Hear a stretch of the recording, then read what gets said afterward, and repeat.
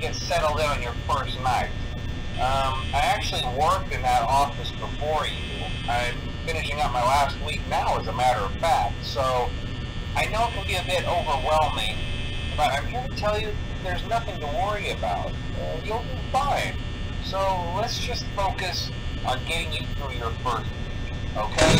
Uh, let's see. First, there's an introductory greeting from the company that I'm supposed to read.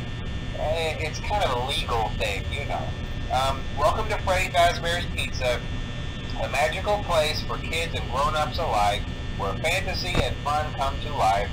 Fazbear Entertainment is not responsible for damage to property or person. Upon discovering that damage or death has occurred, a missing person report will be filed within 90 days or as soon as property and premises have been thoroughly cleaned and bleached and the carpets have been replaced. Blah, blah, blah. Now, that might sound bad, I know, but there's really nothing to worry about. Uh, the animatronic characters here do get a bit quirky at night, but do I blame them? No. If I were forced to sing those same stupid songs for 20 years and I never got a bath, I'd probably be a bit irritable at night too. So remember, these characters hold a special place in the hearts of children and we need to show them a little respect, right? Okay. So just be aware, the characters do tend to wander a bit. Uh, they're left in some kind of free roaming mode at night. Uh, something about their servos locking up if they get turned off for too long. Uh, they used to be allowed to walk around during the day too, but then there was the bite of 87 yeah. It's amazing that the human body can live without the frontal lobe, you know? Uh, now, concerning your safety, the only real risk to you as a night watchman here, if any, is the fact that these characters, uh, if they happen to see you after hours, probably won't recognize you as a person. They'll, they'll most likely see you as a metal endoskeleton without its costume on. Now, since that's against the rules here at Freddy Fazbear's Pizza, they'll probably try to forcefully stuff you inside a Freddy Fazbear suit. Um, now, that wouldn't be so bad if the suits themselves weren't filled with cross beams, wires, and animatronic devices, especially around the facial area. So you can imagine how having your head forcibly pressed inside one of those could cause a bit of discomfort and death. Uh, the only parts of you that would likely see the light of day again would be your eyeballs and teeth pop out the front of the mask. yeah, they don't tell you these things when you sign up. But hey, First Station the Breeze. I'll chat with you tomorrow. Uh, check those cameras and remember to close the doors only if absolutely necessary. Gotta conserve power. Alright, good night.